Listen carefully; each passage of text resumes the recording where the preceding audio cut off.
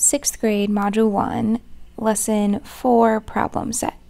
Number one, use diagrams or the description of equivalent ratios to show that the ratios 2 to 3, 4 to 6, and 8 to 12 are equivalent. So I'm going to just use, I'll do both. So let's start with, so we're trying to prove that 4 to 6 is equal to 2 to 3.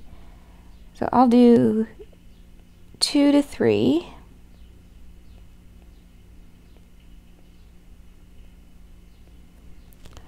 And we can prove that if this is 2, we could make it equal to 4. And if each of these are 2, this would be 6. it's like saying 2 times 2 equals 4.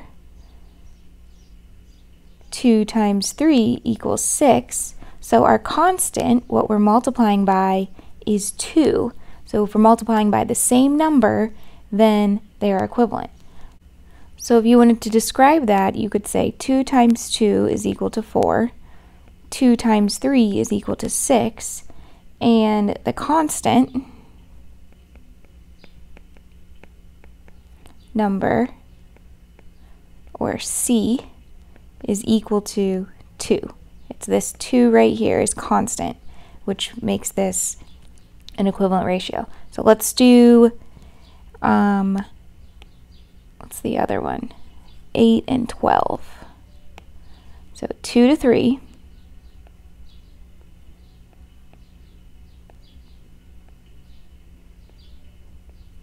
So here we have 8, which means that each of these would be 4.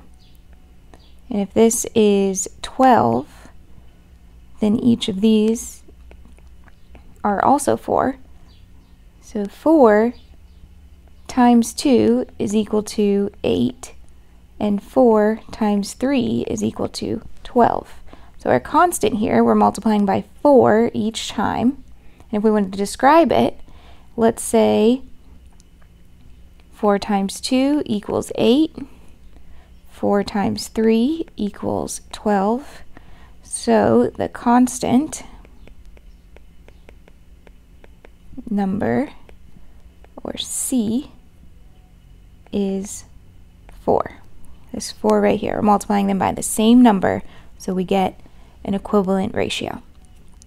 Number 2, prove that 3 to 8 is equal equivalent to 12 to 32. Use diagrams to support your answer and use the description of equivalent ratios to support your answer. So basically just what we what we did right here.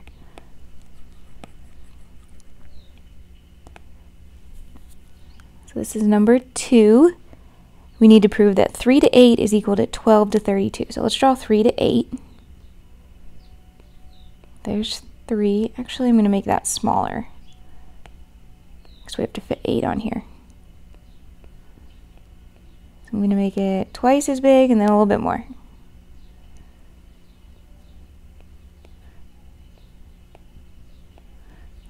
One, two, three, four, five, six, seven. One more. Okay, there's 3 to 8. We need to prove that it's equal to 12 to 32. So if this is equal to 12, then each of these should be, if we do 12 and split into three equal parts, each of those should be 4, which means that all of these would be 4. Let's see, 4 times 8 is equal to 32. So that is true. And we could prove it by saying our description. We can say something like 4 times 3 is equal to 12. 4 times 8 is equal to 32. So 12 is equivalent to, or the ratio is 12 to 32 is equivalent to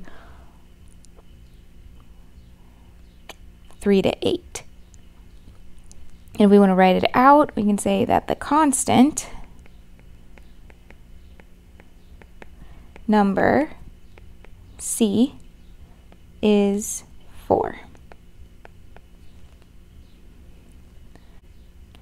The ratio of Isabella's money to Shane's money is 3 to 11.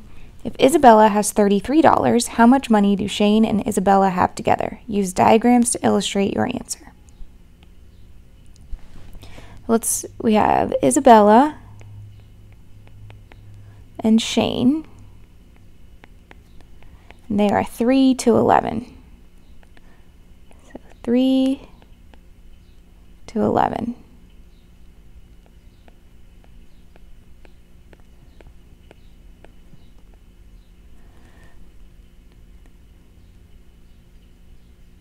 Yep, that's 11. Okay. So Isabella has $33. So this is equal to $33, which means that each piece is $11. So then all of these are also $11. So 11 times 11 is equal to 121. So that would mean that Shane has $121. Now, the question is how much do Shane and Isabella have together? So we want to know what their combined money is. We need to add them. 121 plus $33 is equal to $154. So we would say together,